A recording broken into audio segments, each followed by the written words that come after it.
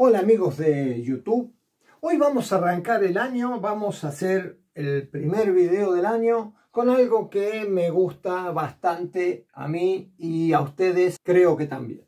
Para ello vamos a necesitar usar protectores auditivos, protectores de la vista y también siempre por precaución un buen matafuego a mano.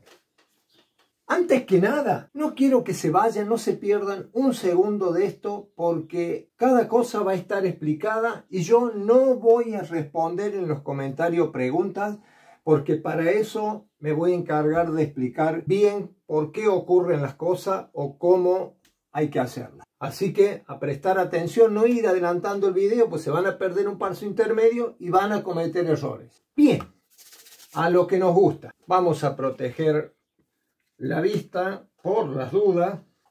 Nos ponemos esto. Tenemos un ignitor aquí y vamos a oprimirlo. Yo no sé si se escuchó muy fuerte la explosión, yo no escuché gran cosa porque tenía los protectores auditivos, pero se supone que ustedes sí la vieron. ¿Cómo hacemos esto? Yo se los voy a mostrar paso a paso para que ustedes no cometan errores si lo van a hacer. Pero no se pierdan todo el video hasta el final porque ahí realmente va a estar explicado a medida que vaya avanzando el video. Aquí contamos con dos recipientes o dos globos inflados con algo. Uno de cada color, con unas mangueritas aquí y aquí tenemos unas bombuchas de esas que, se usan para carnaval, para llenarla de agua y arrojarla. Son globitos. Lo primero que vamos a hacer es tomar este alminículo que ven ustedes acá. Vamos a, tomar acá y ponerle el globito aquí. De modo que si nosotros aquí lo inflamos y le doblamos la manguera, nuestro globito va a quedar inflado. Ahora vamos a tomar esta jeringa médica que ven acá, uff, enorme, que es de 60 mililitros o 60 centímetros cúbicos, la vamos a conectar en la manguerita esta y vamos a tomar una pequeña cantidad, que ya iré explicando cuánto, y la vamos a inyectar acá. Una vez que la hayamos inyectado, hacemos lo mismo con el otro, y también le inyectamos acá. Y ahora vamos a detonar este pequeño recipiente. Acá es bueno que observen o traten de escuchar y nosotros vamos a ir viendo después en, en, la línea de tiempo del video voy a capturar una gráfica para que se vea el tipo de explosión que se produjo, para que se vea cuál fue el rango de la explosión. Vamos a detonar esto.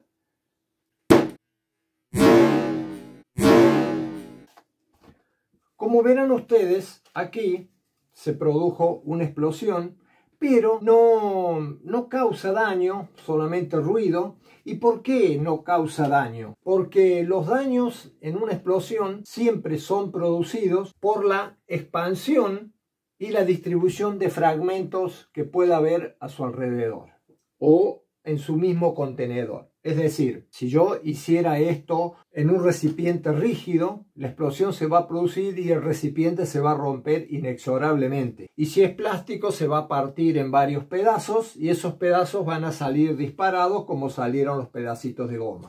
Pero ¿qué ocurre? Como la goma no, no es un elemento contundente, yo me puedo golpear con un pedacito de goma y no ocurre nada, es por eso que yo puedo hacer esto a 30 centímetros o 40 de distancia. Quizás a ustedes les parezca una locura, a otros parecerá eso no tiene gracia, pero bueno, la cosa es así. Las cosas hay que hacerlas siempre con mucho cuidado cuando se experimenta y empezar con poquito, quizás con un globito más chiquito que este que hemos visto aquí. Cuando se hace por primera vez uno no sabe los resultados, pero como yo ya conozco los efectos, lo puedo hacer tranquilamente aquí.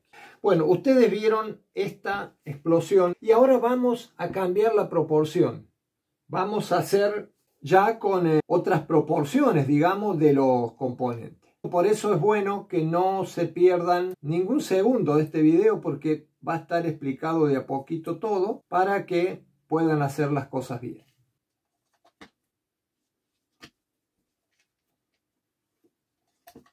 Presionamos y presten atención.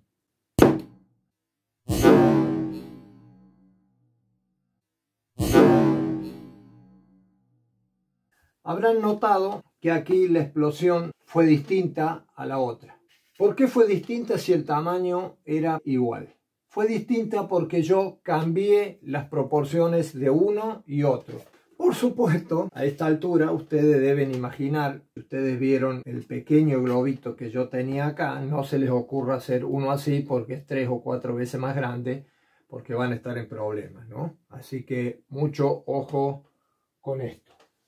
Y ahora para contarles cómo lo hice paso a paso, primero les voy a decir que se suscriban si les gusta mi canal, que compartan los videos y que me sigan en mis otras redes sociales que aquí les estoy dejando la, dirección. Y ahora también como es habitual, vamos a hacer los saludos correspondientes a las personas que han sido primeras en comentarios anteriores, pero no se vayan que todavía hay mucho más. Ellos son Diego Martín Perrotas de Lanús, Buenos Aires, José Luis de San Juan y Cristian Uchin León de Ticinín, estado de Yucatán, México. Para estas tres personas vaya un saludo enorme de Canal El Angelito y del mío propio. Como les decía, ahora vamos a hacer una, pero un poquito más grande para que vean, vayan notando las diferencias.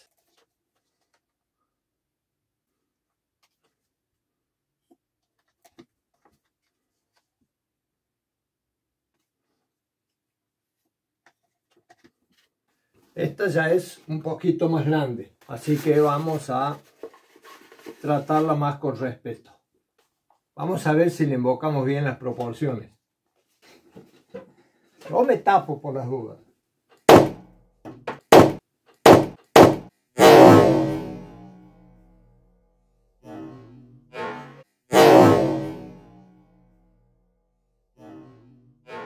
Ya fue un poquito más grande, ¿no? Y ustedes a esta altura seguramente se estarán preguntando cómo lo hizo, con qué lo hizo.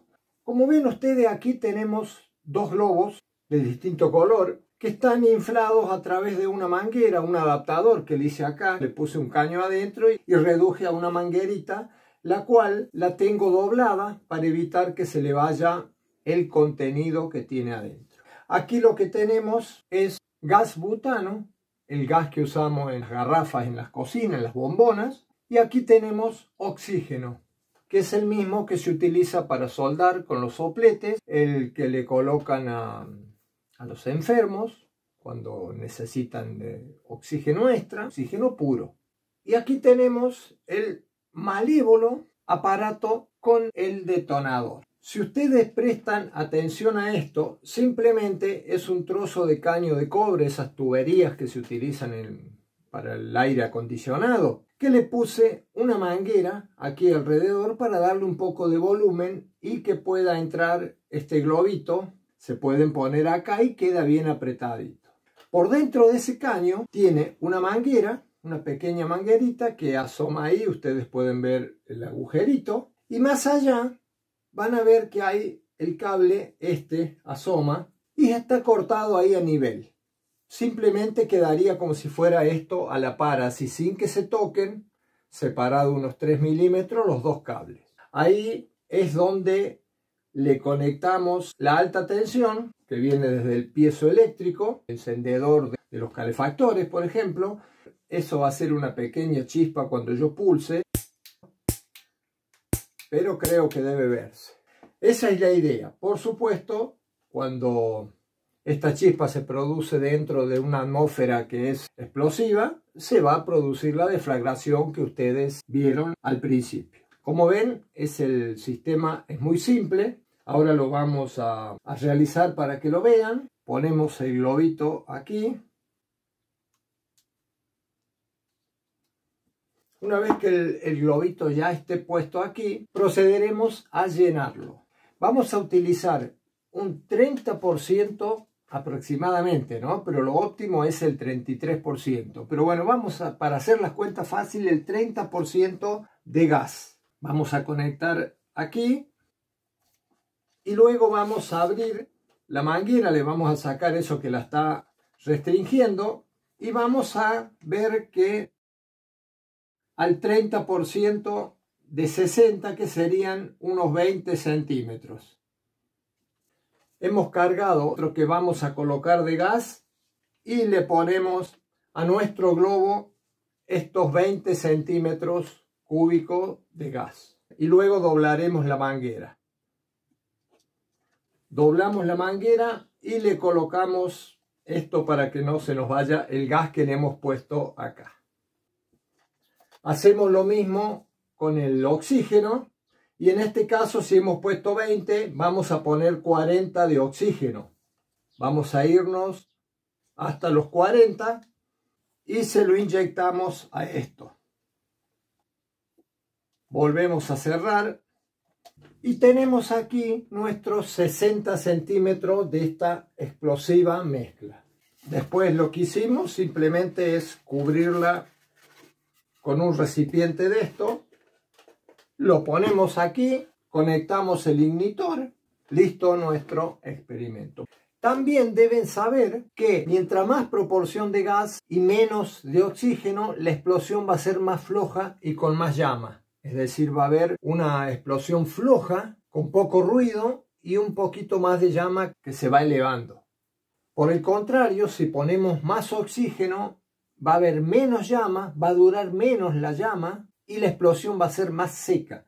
Si nos pasamos de la cantidad de oxígeno, puede que no llegue a encender la mezcla. Así que tengan en cuenta todas estas cosas. Bueno amigos, esto ha sido todo por el video de hoy. Recuerden suscribirse, darle like y compartir los videos, que todo esto ayuda a mantenerlos mejor posicionados en internet. Amigos, será hasta que nos veamos.